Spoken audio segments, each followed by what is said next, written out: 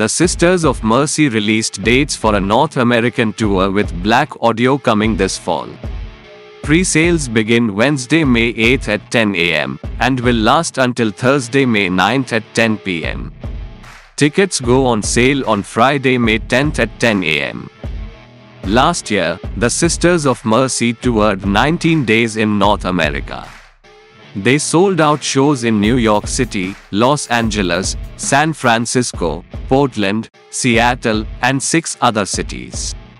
This fall, they will tour 26 shows that include stops like New York City's Radio City Music Hall, Los Angeles the Greek, San Francisco's the Masonic and Chicago's Aragon Ballroom among others. Electronic duo Blaqk Audio will be joining them for the tour.